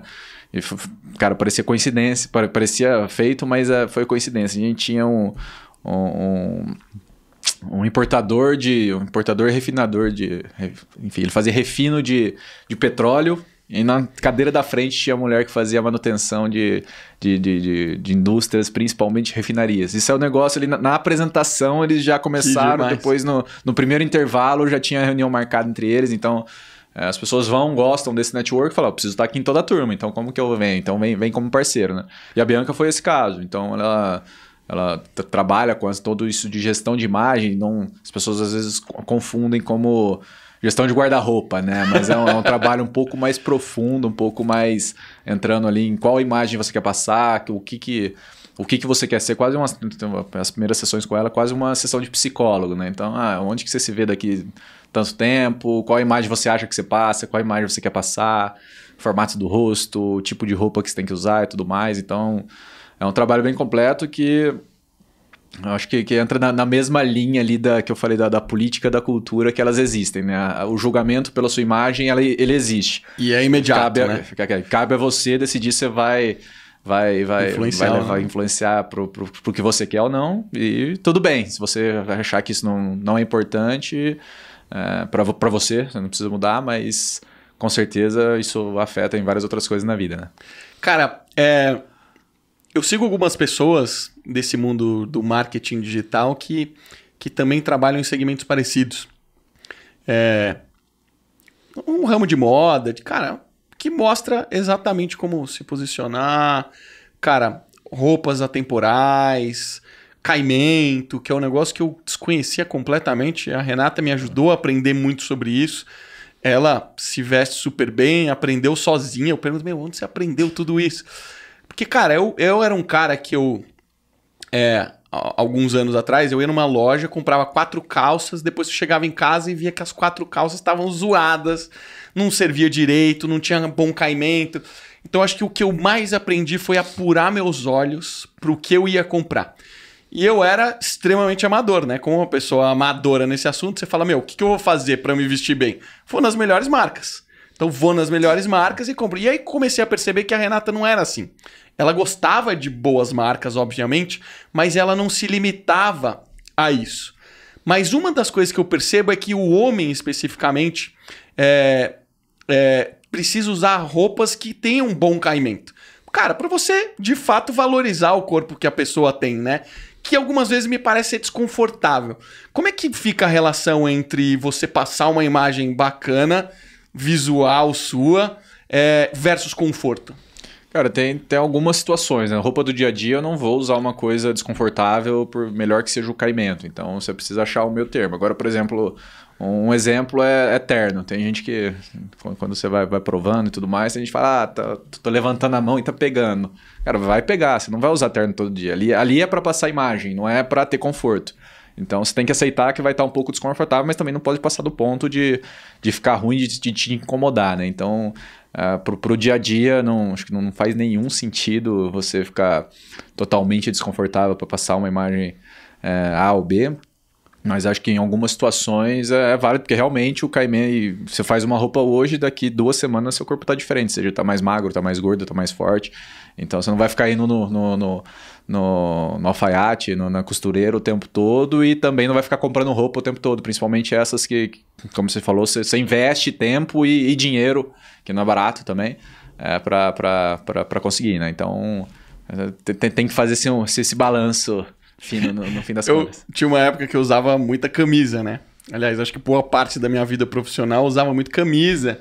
E depois de um tempo eu comecei a fazer camisa num. num cara, acabou virando um amigo, que é camisaria turquesa. É... E, cara, eu visto a camisa num determinado momento, cara, tá perfeito. Aí meu corpo vai mudando. Cara, quantas vezes meu corpo mudou? Hoje eu tenho um lote de camisas aí, sabe? Que você fica pegado, puta, eu gosto tanto dessas camisas, mas elas não estão cabendo mais em mim. Porque, cara, toda vez que eu ia fazer a medida, ele, pô, Marcelo, mudou de novo. Você ficou mais forte, ou ficou mais gordo, ou ficou mais magro e etc. Você precisou fazer roupas sob medida ou você consegue ser prático de ir num shopping e escolher coisas bacanas e, e dar um bom caimento? Tem, tem. Precisa de ajuste sempre, né? Quase, quase toda roupa que, que, que, você compra que queira um caimento de fato, né? você vai precisar fazer alguns ajustes. Leva numa costureira. É, é, ou, ou, mesmo na loja, né? A maioria das lojas tem hoje um, já um, uma pessoa terceirizada da própria loja ali. E precisei, sim, fazer algumas camisas, mas para terno e tudo mais, quando, ocasiões mais, mais formais, sim, faço, mas no, no geral tem, tem, tem, tem, tamanhos e ajustes para todos. Da hora. Cara, da Bianca Ladeia, logo mais vai vir aqui também, hein? Conversamos na última, na última mentoria, a gente vai marcar. Eu tô lendo um livro, cara, chamado A Revolta de Atlas. Eu queria que você dissesse qual a sua relação com esse livro.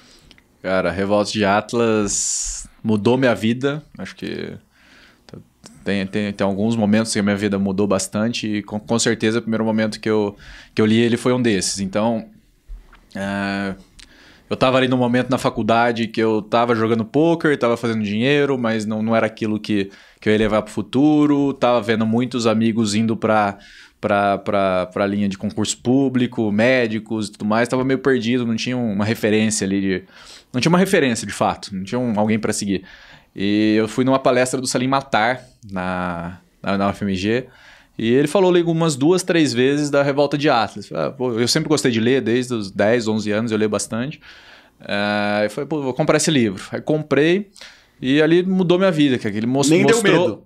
Porque o livro é grande, né, cara? Ah, mas eu tava acostumado. Já, já tava? Já, já, já li piores. É, piores em, em, em, em quantidade. De então ali, cara, mostra é, é a sociedade, eu acho que a gente fala que é atual, mas eu acho que a sociedade, desde que, que ele foi escrito lá, que é, as referências da Ayn Rand são a Revolução Russa, lá de 1917, que é o que a família dela foi, foi, foi presa, tomaram todos os bens delas, tal. ela fugiu para os Estados Unidos e, e, e, criou uma filosofia de que é, o, é, o, é o essa, essa parte você corta. e criou a filosofia do, do objetivismo, né? Que que, que ela, ela defende que o egoísmo não é mal. Né? Então você tá certo você pensar em você, tá certo em você querer crescer, tá certo você querer produzir. E ela divide o mundo em dois tipos de pessoas, que são os produtores e os saqueadores, né? Então, fica muito claro no livro ali, até pelos termos que eles usam. Hoje você, eu olho, olho um político e falo, esse cara parece aquele cara da revolta de Atlas. Eu olho um empresário falando e falo, ó, esse cara é igualzinho aquele ali. Eu olho você falando, eu falo, ó, ele tem elementos da, da, dali. Então, é um livro que tem uma, uma, uma história envolvente, tem uma filosofia muito forte por trás, tem alguns discursos ali, não sei se você já, já já, já, já passou pelo, pelo discurso do Francisco D'Anconi no casamento do... do do Jim, é Jim o nome do não, Taggart? O, o do irmão, é, não. É, eu não, não peguei, não peguei essa parte. É, então tem, tem alguns discursos ali que dá vontade de tatuar na. na são... Até a, a, a, parede do auditório do G4 é uma das passagens da Range, mas não é da Revolta de Atlas, da, do, do, da Nascente. Então, assim, foi, foi um livro realmente game changer. Ele, ele mostrou ali e falou: opa, tem mais gente parecida contigo no mundo do que parece. Então, eu tava num momento sem referência ali. Eu recomendo desse livro pelo menos umas 100 vezes para para amigos, familiares, conhecidos, e desconhecidos. Cara, todo mundo que lê gosta demais. Todo mundo. Mas, mas não... quantos por cento lê? Ah, eu diria uns 30%. 30%. É. Agora, você não leu uma vez só, né? Não, eu leio todo ano. Por quê? Cara, cada vez eu aprendo uma coisa diferente ali, cada vez você vai, vai prestando atenção em uma coisa diferente. Né? Como eu disse, a história é bastante envolvente, então a, a primeira vez, pelo menos na maneira que eu leio, eu, eu queria acabar para ver como que era a história, como que era o final daquilo, como que sucedia. Depois você vem, vem prestando muita atenção nos discursos, que tem bastante discursos ao longo do livro, tem um no final também do, do John Galt, que é sensacional. Opa, deu um spoiler. Não tem problema. é, então, a segunda vez eu fui, já fui lendo mais pensando nos, nos, nos diálogos ali, nos, nos, discursos. Na terceira eu já fui tentando pegar a maneira de pensar de cada um dos personagens e diferenciando eles entre si, né? E a partir dali eu falei, cara, esse é um livro que eu preciso ler uma vez por ano. Então eu fiz um pacto comigo mesmo. Se você fizer um call comigo, ele vai estar do lado, junto com a estátua de Atlas. Então é, é um é um, é um clássico, cara. Eu recomendo, não tem ninguém. Tá, tá lá em cima. O, o livro e Atlas. É, eu não tinha visto. Ajuda, para quem, pra quem não tá assistindo e tá ouvindo, eu acabei de apontar para o livro A Revolta de Atlas e também apontei para uma estátua que tem aqui no estúdio, que é Atlas segurando o mundo aqui sobre a é, cabeça. É realmente um game changer, acho que Cara, se 5% do Brasil lesse esse livro, acho que coisa diferença. Foi o que o Thales falou, cara. Eu falei, Thales, como é que a gente muda esse cenário político que a gente tem aqui? Coloca a revolta de Atlas no Enem. E ele, e ele falou, cara, eu, se eu pudesse fazer alguma coisa, eu daria este livro e este livro. Um dos livros era a Revolta de Atlas, o segundo livro, se eu não me engano, é um daqueles Caminho ali. Caminho da Servidão deve ser. Caminho da Servidão, provavelmente, que ele recomendou que as pessoas lessem. É, você que já leu esse livro muitas vezes, já tirou muitas lições, deve ter muita coisa fresca na cabeça. Como é que você analisa o cenário social do Brasil hoje, social e político do Brasil hoje? Onde você acha que a gente se encontra nesse meio de tantas confusões aí, polaridades, né?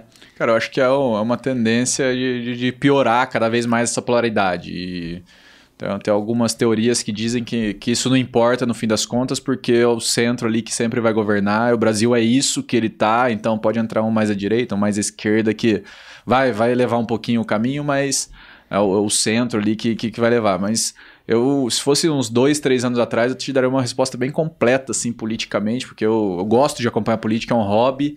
É, mas, Tem louco pra tudo, né? É, eu, eu, eu sempre gostei. Não. A primeira vez que eu, que eu lembro de ter procurado alguma coisa de política foi quando a Dilma, lá em 2011, 12, baixou a conta da luz, de luz lá. Eu falei, putz, essa mulher é boa pra caramba. Tá? Eu fui ver que não. então, só que um ano atrás, um ano e meio, eu comecei a, a levar como um hobby de fato. Então, eu tinha muito isso de, ah, eu preciso saber o que está acontecendo politicamente, eu preciso saber para onde a economia vai, eu preciso saber o que vai acontecer com as commodities, onde está o dólar, porque isso é importante para o meu emprego, vai ser importante para o meu futuro. E eu cheguei à conclusão que, que, que não é. Então, assim, as minhas ações vão determinar 95% dos resultados. Talvez 5 ali seja ajude um lado ou outro, o que acontece na economia, na, na, na política, ajude. É, mas, infelizmente, não, não, não é a realidade do, do, do Brasil, né? A gente precisa ali de, de, de líderes e eu não, sinceramente, cara, não, não vejo nenhum líder despontando, não vejo ninguém que seja capaz de, de acabar com, com, com essa polarização, ou diminuir essa polarização. Só vejo cada vez mais os, a boca de jacaré se abrindo. Não sei se lá na frente ele vai ser tipo um design sprint, tomara que seja, mas não, não vejo num, num, num curto espaço de tempo essa, essa percepção, não, cara. É, o Ciro Gomes recentemente deu um, postou um vídeo no Twitter onde ele falava mais ou menos isso, tá? Depois, se alguém quiser, entra lá no Twitter e veja o vídeo dele na íntegra, mas ele diz mais ou menos que o Lula foi muito melhor para os ricos do que para os pobres, né?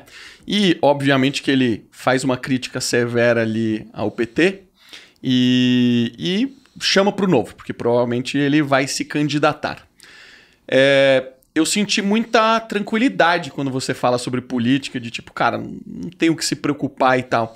Quando você vê essa confusão toda rolando, e o Paulo Guedes vem e diz que a gente está há semanas de se tornar uma Venezuela se a gente não tomasse providências, isso não te assusta? Você acha que isso é o normal? Sempre ocorreu assim? Ou você acha que a gente está numa fase onde pode de fato ter uma mudança severa como essa? Cara, tem, tem dois pontos aqui. É, o primeiro, se for levar para um lado mais estoico, é, não, não, tem muito que a, que a gente fazer, por mais que a gente defenda, faça barulho aqui e tal. É, é, a gente tem pouco poder de, de, individualmente, né? A gente tem pouco poder de, de, de, de mudar. E o segundo é que eu, eu acredito que as pessoas que estão lá são inteligentes, elas sabem o caminho que tem, elas sabem o que, que pode, o que, que não pode, onde que, que, onde que é o limite ali. Então, por exemplo, pega uma reforma da Previdência, por exemplo. Os deputados sabiam, os senadores sabiam que precisava e que tinha que chegar no, no número ali fizeram chegar naquele número. Então, eu, não acredito que, que, que, também esteja nesse caminho totalmente desgringolado, que vai piorar é, 300%, porque uh, o bezerro tem que manter a vaca viva, né? Não, não adianta querer cortar a vaca e comer a carne de uma vez, porque vai, vai acabar o leite. Então, eu, eu, eu, eu vejo mais é, falta de vontade de levar as coisas para um, um lado melhor do que falta de capacidade. E eles vão querer manter a, a, a vaca leiteira. Cara, fizeram IPO, G4, ficaram ricos, felizes pra caramba, não precisa mais trabalhar, te chamaram para entrar na política. Você entra? Cara, talvez no, no, segundo escalão do governo ali, alguma secretaria, algum ministério, não como ministro, acho que não, não quero esse tipo de exposição, mas numa secretaria de, de desestatização, por exemplo, como estava lá, talvez isso, isso fosse uma, uma, uma, não uma vontade, mas acho que, que eu consideraria. Agora, como cargo eletivo, eleição, ministro, televisão, nem a pau. Cara, eu olho pro, pro Dória, porque o Dória tô apontando pro meu livro ali, ele escreveu o prefácio do meu livro. Ele e o Nizam. E eu conheço a história do Dória. O pai dele foi político, né? Ele é um cara que não precisava de maneira alguma estar na política. Ele é um empresário muito bem sucedido, muito bem conectado é um cara que já tinha um reconhecimento público porque ele tinha programa de televisão há muitos anos. E eu vejo o que ocorreu com ele e me assusta demais. Me assusta demais porque é, a mídia brasileira, infelizmente, ela distorce muitos fatos para muitas situações. E eu acho que você e eu já vivemos um pouco na pele o que, que é quando alguém que tem força de, de mídia quando falam a mentira e isso se perpetua como verdade, né? E me dá um medo desgraçado disso, porque eu fico pensando assim, cara, olha o que ele tá passando. Tá sem dormir, tá sofrendo, passando o pão que o diabo amassou. Cara, todo mundo erra. Todo mundo tem seus erros, mas, cara, ele precisava passar por isso. É isso é um pouco o que eu questiono, entendeu? É, e, eu- e eu falo com todas as palavras. E nisso eu concordo muito com o, com o, o Flávio Augusto, que ele fala assim, cara, tudo que eu for fazer para ajudar o país vai ser pela iniciativa privada. E eu penso exatamente da mesma forma e nada contra quem pensa diferente, cara. Eu acho que alguém precisa viver a política. Eu não tenho estômago para isso, eu não aguento. É, eu vejo uma notícia, eu me sinto mal, então eu prefiro ver em doses homeopáticas, né? E a mídia brasileira, cara, é uma ferramenta fundamental. Aliás, a mídia em geral é uma ferramenta fundamental para a gente é, atualizar as pessoas. Como você enxerga a mídia hoje? Cara, eu não acredito em basicamente nenhum, pelo menos nenhuma headline que eu leio. Pode ser na, na Globo, pode ser na Folha, pode ser no UOL, qualquer lugar. É, geralmente elas já, já estão enviesadas ali para aumentar o número de cliques, né? Porque é isso que eles querem. Geralmente a própria, a própria notícia já, já desmente a, a, o título ali, né? Então, de fato, eu não acredito na primeira vez que eu leio, seja de qual fonte que seja. Se, se eu, se eu quero realmente saber de algum assunto, se eu quero opinar sobre algum assunto, eu procuro, tento buscar ali as fontes primárias. Ah, estudo deu X% de, de, de vacinação, de, de, de, de eficácia da, da, da, vacina. Então, putz, se eu quero falar sobre isso, eu quero realmente entender, eu, eu, preciso ir buscar qual que é esse estudo. Esse estudo. E muitas vezes eu não acho. Então, assim, eu, eu, eu tô num, num momento de descrédito, não, não vejo também muita muita solução a, a curto prazo, talvez nem médio, acho que, que a internet ainda ainda tem, tem essa questão toda de tráfego, quero mais tráfego, quero mais tráfego, como que eu atraio isso, e geralmente polêmica, é, coisas que chamam mais atenção atraem mais tráfego, é natural, você trabalha com isso, eu também. Então... E muitas dessas plataformas estão tentando sobreviver, né? Exato. Nessa mudança do físico para o digital. Se pegar ali o gráfico da, das, de tiragem de revistas de jornal, é, é desesperador. Imagina você sendo dono de um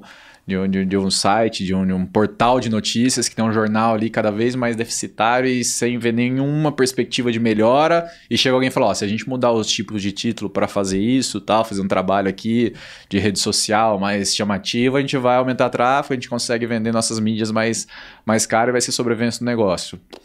Não julgo muito, entendeu? Mas. É, não, não, eu, eu, eu não acredito e não, não vejo também nada, nenhuma, nenhuma perspectiva de melhor, o que tal, talvez seja um insight que a gente esteja tirando daqui, que é um, um possível caminho. Eu vi uma, uma, uma entrevista do, do fundador do Netscape. O Mark que, Andreessen. Isso. Que ele fala que o que ele queria fazer no Netscape seria a internet em outra, outra dimensão, né? Porque o jeito que foi o Google, de, de todos os portais, foi, no, foi no, no, sentido de ads, né? Então eu preciso trazer mais gente para que outras pessoas queiram colocar mais anúncios no meu site e eu fornecer essa informação gratuita. E ele tentou muito forte com a Visa e Mastercard colocar pagamento via cartão de crédito lá em 96, 97, dentro do navegador. Então, cada notícia que você leria, você ia pagar 0,05 centavos, cada site que você evitasse, você ia, você ia pagar, só que a Visa e Mastercard não aceitaram na época fazer essa, essa não sei se é adquirência, mas enfim, não aceitaram fazer esse meio campo ali com eles e acabou o Netscape acabou morrendo e e o que, que sobressaiu foi a internet do anúncio. Talvez seja, seja o momento de, dessa, dessa guinada, não sei, alguma coisa assim.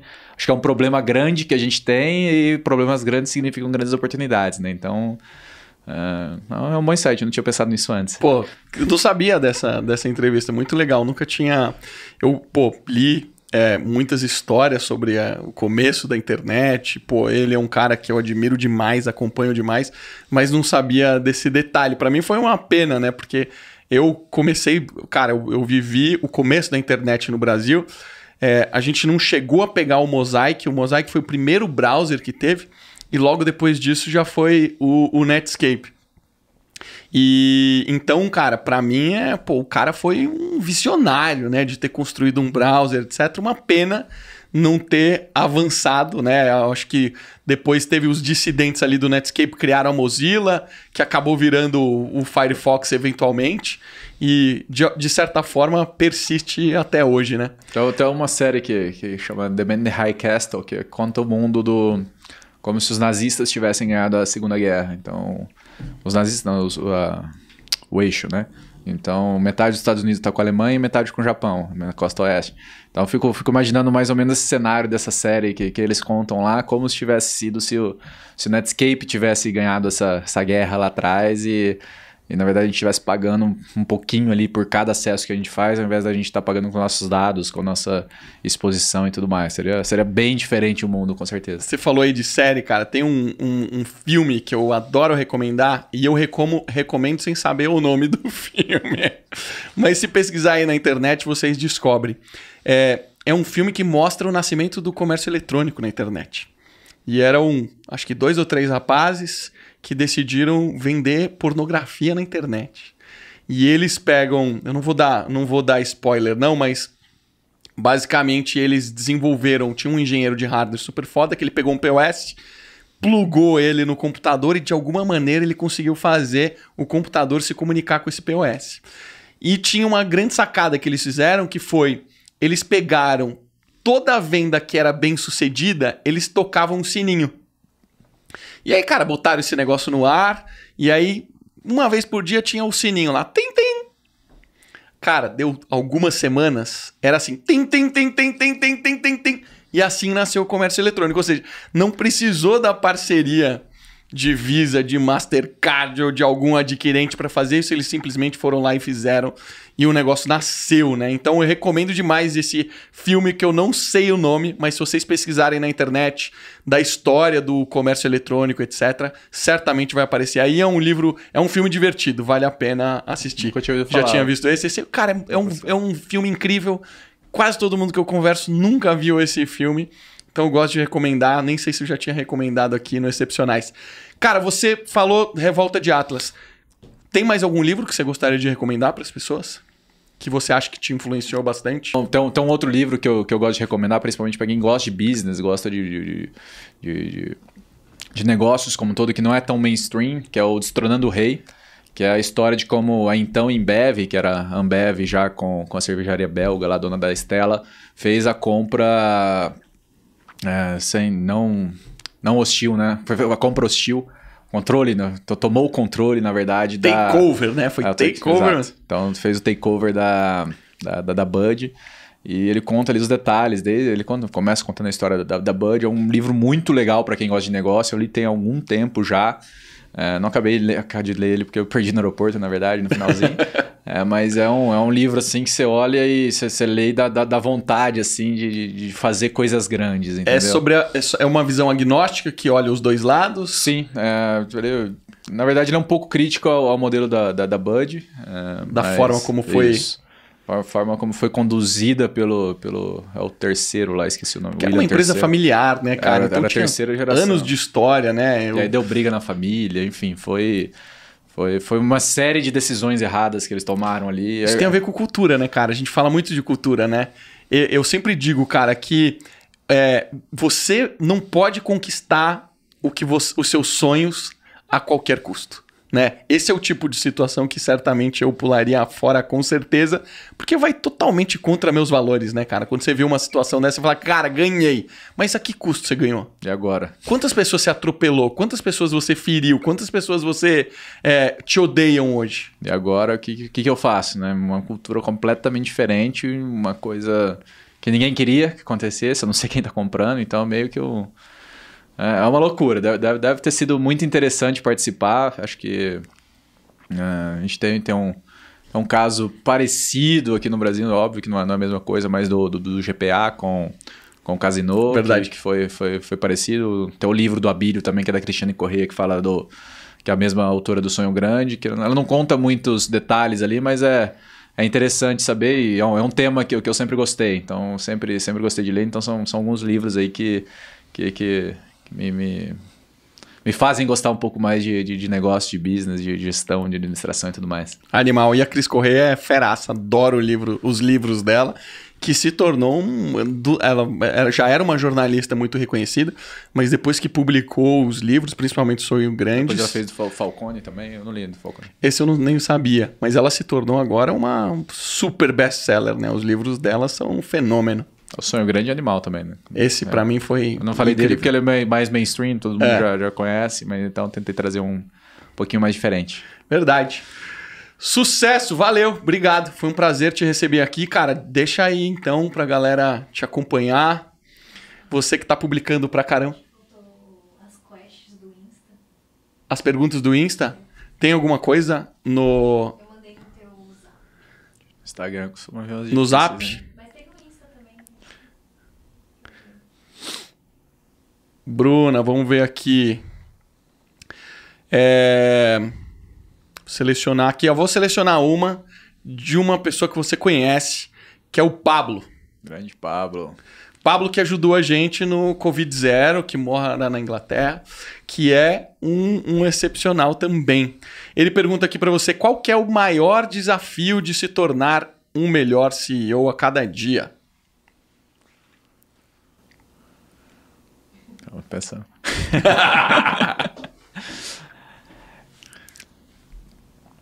o maior desafio de se tornar o melhor CEO a cada dia.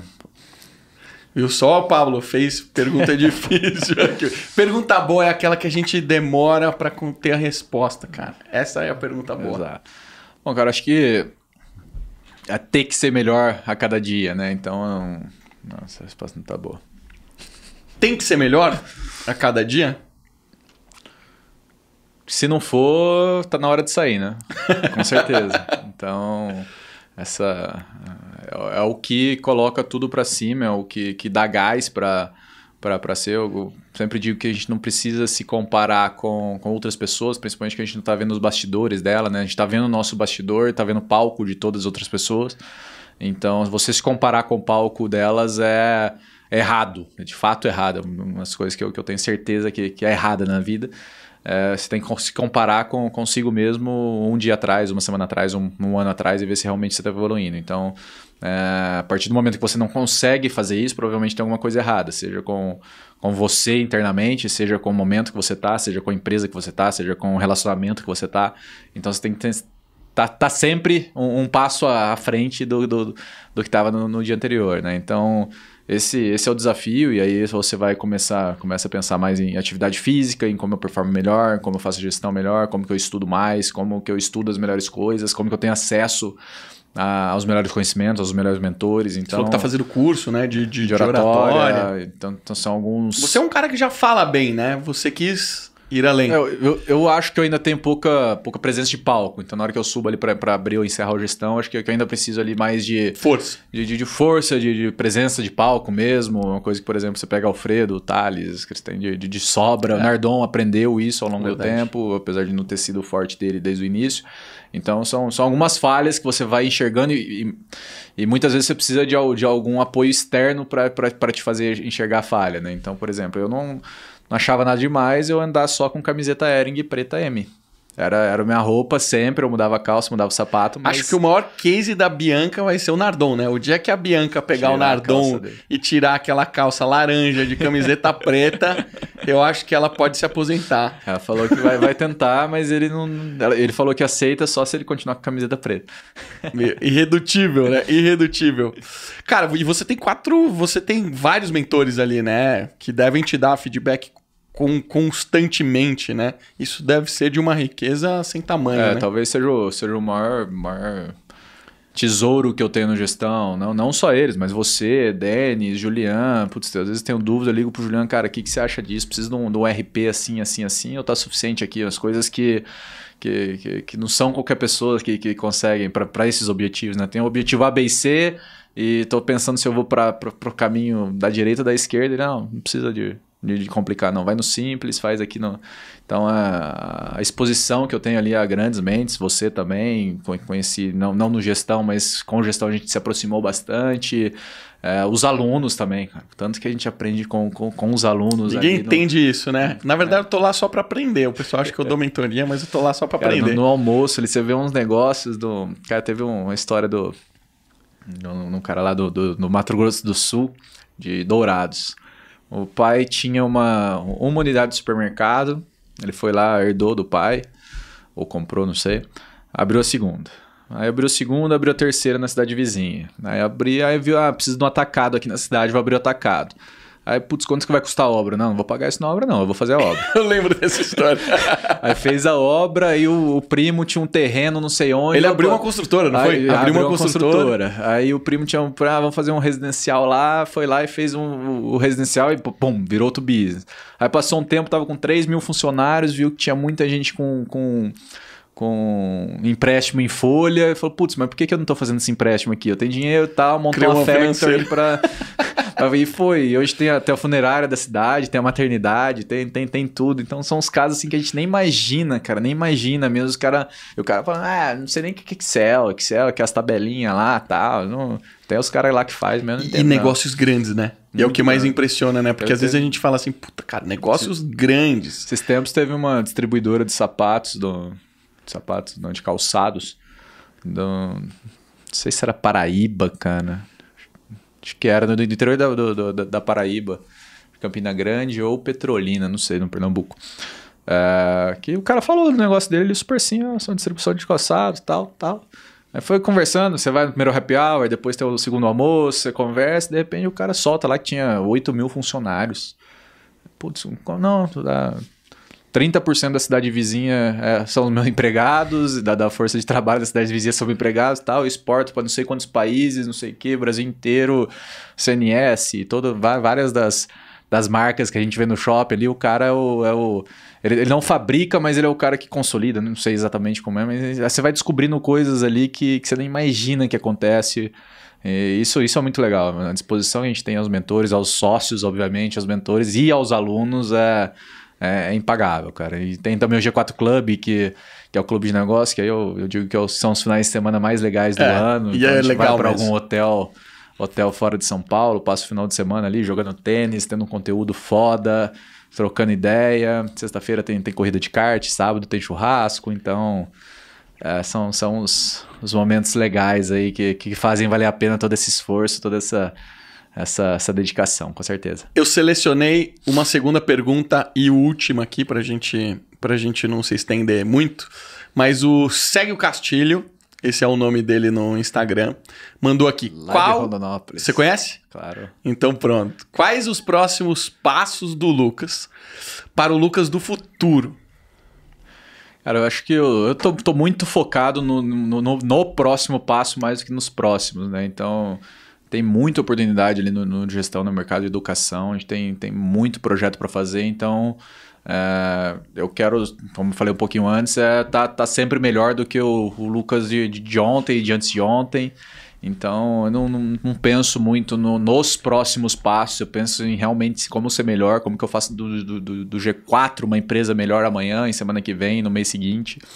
Então, acho que eu, ne- no momento que eu tô agora, eu tô com.